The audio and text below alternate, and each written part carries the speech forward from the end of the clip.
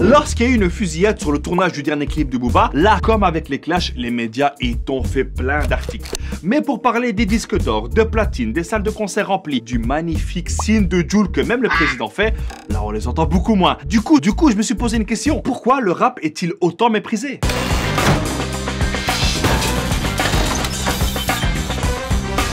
Le rap français en est là aujourd'hui, c'est parce que la France a toujours considéré ces cités comme son grenier. Et dans les années 80-90, cette frustration a fait naître des groupes comme NTM ou IAM et des mecs comme MC Solar ou Osmo Puccino qui rappaient pour dire De toute façon, y a plus de boulot. La boucle est bouclée, le système à la tête sous l'eau. parce que ouais, en général, euh, t'as pas besoin de rapper si tout va bien dans ta vie. hein. J'ai un message à faire passer à tous les jeunes. Il faut qu'on parle de ce qui se passe.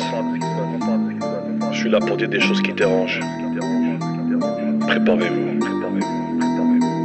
Hamdoullah, j'ai aucun problème. Les Suisses me font rien manger. Je trouve du travail tout le mardi. Macron, lui, c'est mon favori. Et aujourd'hui, que tu le veuilles ou non, le rap fait totalement partie de la culture française.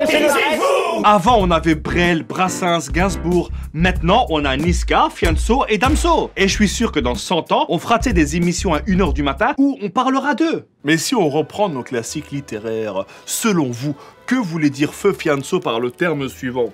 L'équipe est au cas, ish, ish. Bah écoutez, c'est une excellente question. Si on prend l'étymologie hein, du mot ish, ish, en tout cas le premier fait une référence directement sur le fait de ta mère.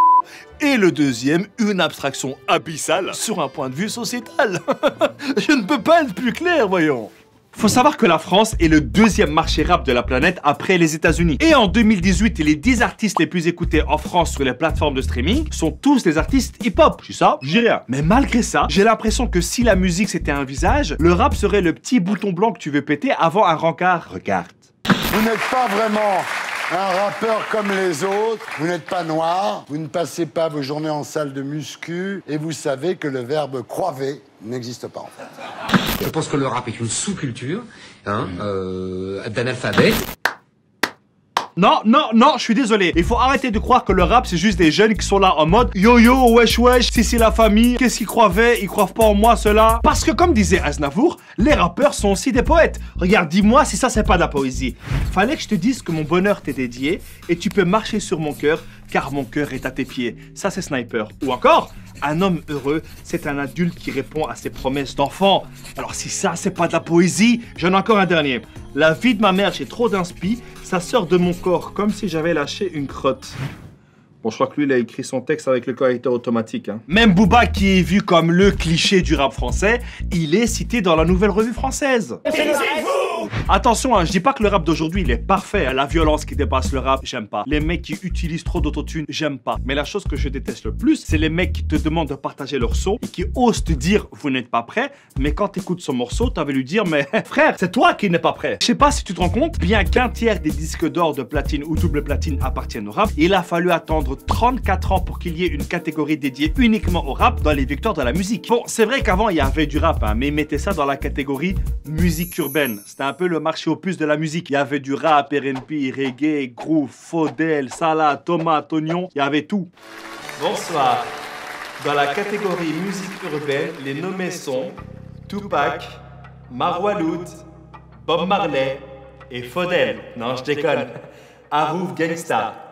Le rap représente la France désormais partout dans le monde. T'as des artistes comme Joker et Dossé qui ont été nommés aux BET Awards. Yes, we can! Et il faut savoir que beaucoup d'entre eux écrivent aussi pour des grosses stars de la variété française. Donc là, je t'ai écrit un son, t'as vu, c'est pour relancer ta carrière, tu vois. Donc euh, la musique, elle parle de fraternité, de rue, de tout ce qui touche les gens. Hein, donc tu commences, tu dis, ah, qu'est-ce qu'on est serré au fond de cette boîte Chanter les sardines, chanter les sardines. Avec ça, sur la vie de moi, tu fais voilà les showcases. N'oublions pas que le premier artiste qui a réussi à faire un milliard de streams en une semaine, c'était Drake. L'un des plus gros vendeurs de tickets de concert de France, c'est Soprano. Nekfeu, il te sort un album avec un film en scred. En un soir, il se place devant X-Men. Et malgré tout ça, le rap, c'est le genre musical le moins représenté dans les radios, avec seulement 12% des titres joués. Hein, sur la vie de ma mère, eh, voilà, il parle mal. Voilà, il parle mal du rap. Eh, sur la vie de ma mère. Bienvenue sur Radio Musique. Tout de suite, le dernier titre de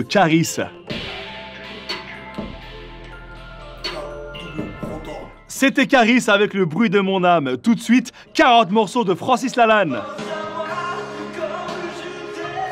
Au-delà des polémiques, du bling bling et des clichés, le rap ça reste quand même une échappatoire pour beaucoup de jeunes qui combattent avec leurs plumes pour éviter qu'on ait des plumes. Ouais, bientôt je sors ma mixtape. hein. Vous êtes pas prêts? Voilà, vous êtes pas prêts. Et le rap est surtout là pour défendre des valeurs, combattre l'injustice et aussi bien sûr se faire un maximum d'argent.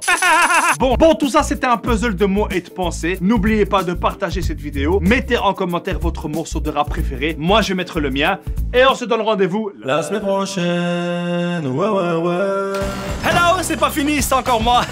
Alors si t'as aimé cette vidéo, je te propose de t'abonner. Par contre, si tu n'as pas aimé, franchement c'est dégueulasse. On se prend la tête à faire un travail de malade, on se prend la tête à faire des recherches incroyables, on mérite au moins que tu t'abonnes. Mais si t'es gourmand et que tu veux en voir une autre, tu peux cliquer ici.